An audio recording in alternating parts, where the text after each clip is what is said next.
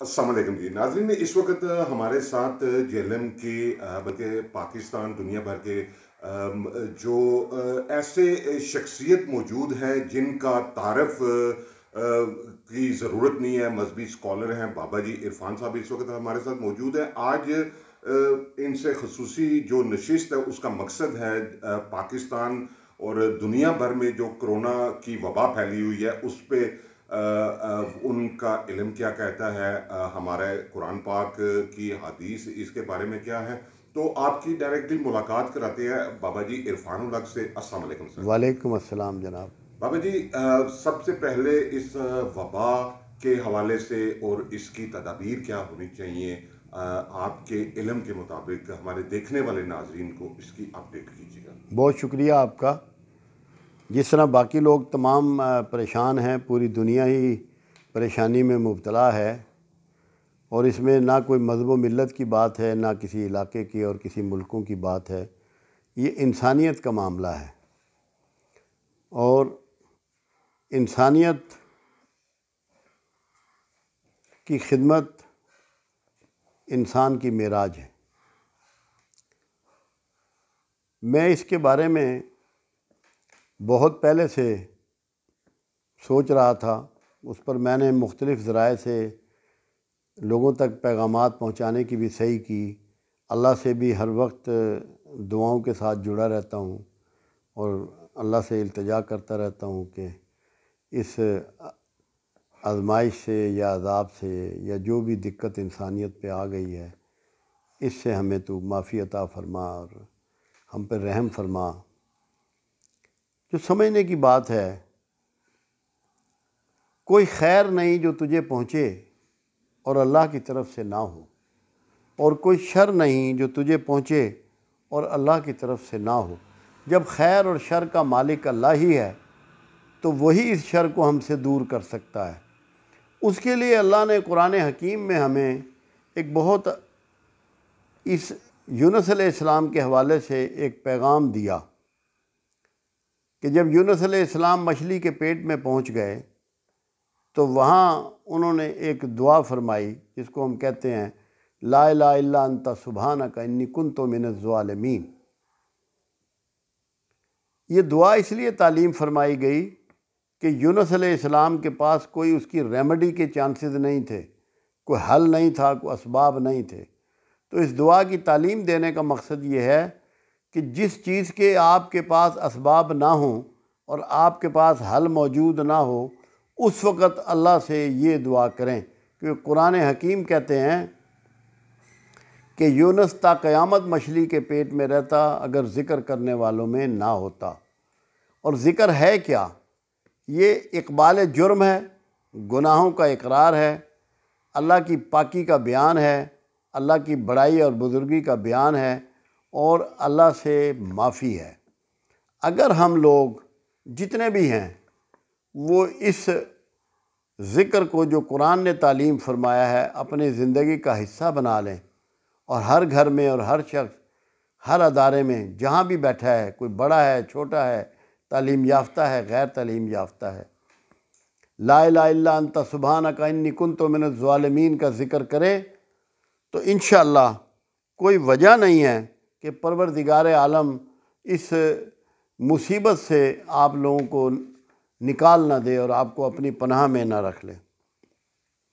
एक बात में बहुत ज़रूरी है जो करना चाहता हूँ।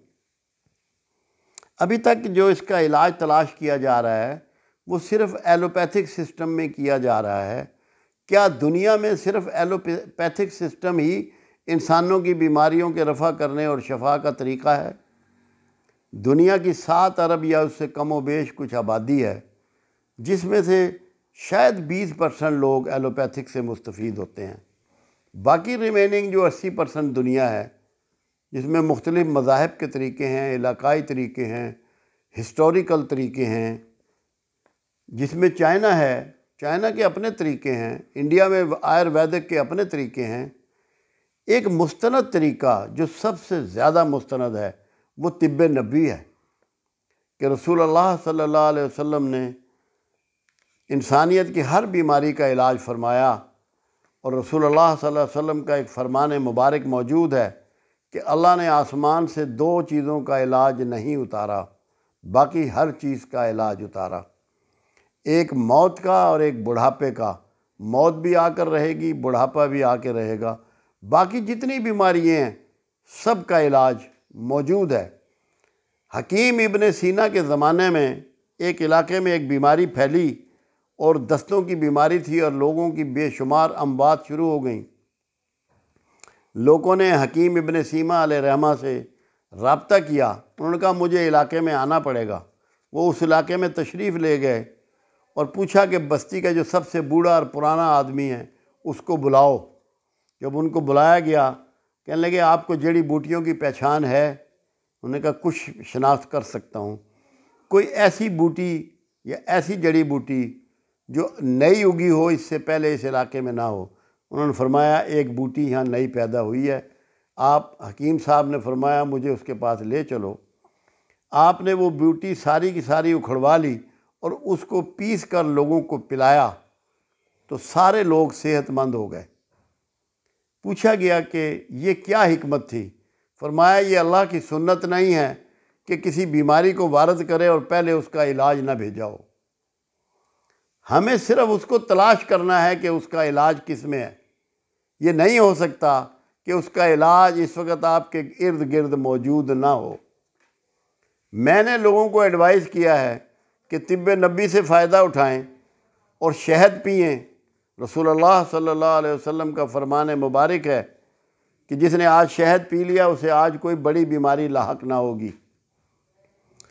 कस्ते शीरी कलौजी, मेहंदी के पत्ते, ये शहद भी पिए और इसको सफूफ की शक्ल में या कैप्सूल में भर के सुबह, दोपहर, शाम खाएँ। ये वो चीज़ है जो एड्स, कैंसर, टीबी और ऐसे मूजी अमराज जो किसी भी दवाई से काबू ना आए, वो इससे अल्हम्दुलिल्लाह बच नहीं सकती, वो कितना ही बड़ा वायरस हो, कितना ही खौफनाक हो तिब नबी में हर चीज़ का इलाज मौजूद है, सिर्फ़ मौत और बुढ़ापे का इलाज सरकार ने नहीं फरमाया। इस चीज़ को और तेल जैतून पिए, क्योंकि ये नमूनिया की तरह वर्क करता है, इसका जरसूमा और सांस की नाली में जो पानी होता है और जो फेफड़ों में पानी होता है उसको ये फ्रीज़ करता है। उसको ये टुकड़े टुकड़े बना देता है जिससे सांस लेने में और जैसे डबल नमूनिया होता है, मरीज़ की ये शक्ल हो जाती है। तो अगर आप पानी भी गर्म पिए, जिसम को साफ़ रखें, वज़ू में रखें, लिबास साफ़ पहने और मेल जोल बिल्कुल ना करें, अल्लाह के रसूल सल्लल्लाहु अलैहि वसल्लम ने मना फरमाया कि जिस बस्ती में वबा फैल जाए ना उसमें कोई दाखिल हो और ना वहाँ से कोई निकले। तो ये लोग जो जज्बाती तौर पे इधर उधर घूमते फिरते हैं और समझते हैं कि बाजमात नमाज़ ज़रूरी है, इंसानी ज़िंदगी से ज़्यादा किसी चीज़ की इम्पोर्टेंस नहीं है। कुरान हकीम में अल्लाह ने वाजे किया कि अगर तेरी जान पे बन जाए तो तू लुकमा हराम भी खा सकता है, क्योंकि जान की इतनी अहमियत है। और ये भी वादे किया, अगर तुझे जान का ख़तरा हो तो कलमा कुफर भी कह ले, बशर्ते कि तेरी नीयत में ना हो। क्योंकि इंसानी जान की कदर मंजिलत अल्लाह ने कुरान में यह भी फरमाया कि जिसने एक इंसान को कत्ल किया, उसने पूरी इंसानियत को कत्ल किया। और जिसने एक इंसान की जान बचाई, उसने पूरी इंसानियत का तहफ़ किया। उसने पूरी इंसानियत की जान बचाई। अपनी जान बचाएँ, अपने अहल वयाल की जान बचाएँ, अपने मोहल्ले, अपने शहर, अपने मुल्क में लोगों की जानों को तहफ़ दें। मैंने एक स्लोगन दरियाफ्त किया और वो मुल्क के बड़ों को भी गोशगुजार किया कि जो महदूद है, वो महफूज है। अपने आप को महदूद कर लें, आप महफूज हो जाएँगे। अगर ना दस दिन कहीं घूमे फिरेंगे तो कोई परेशानी आप पर नहीं आ जाएगी। तोबा कसरत से करें रसूलुल्लाह सल्लल्लाहु अलैहि वसल्लम का एक फ़रमान मुबारक मौजूद है। एक कलमा है जो आपने तालीम फरमाया, हर किस्म की मुसीबत, परेशानी और बीमारी से हिफाजत का कलमा। इन्ना रब्बी अला कुल्ल हफीज़। जो इसे सुबह पढ़ेगा सौ दफ़ा, अल्लाह वादा करता है कि मैं शाम तक उसकी हिफाजत करूँगा। और जो शाम को पढ़ेगा, अल्लाह वादा करता है कि मैं सुबह तक उसकी हिफाजत करूँगा। हर मुसलमान हर पाकिस्तानी दुनिया में हर इंसान इस कलमे को सीख ले और इसको पढ़ता रहे, सुबह और शाम इन वो महफूज रहेगा। एक तरीका और है, जब आफात आती तो मस्जिदों में घरों की छतों पर अजानें दी जाती। ये बहुत बड़ा हल है, ये दुआ का एक ख़ास अंदाज है, ख़ास तरीक है।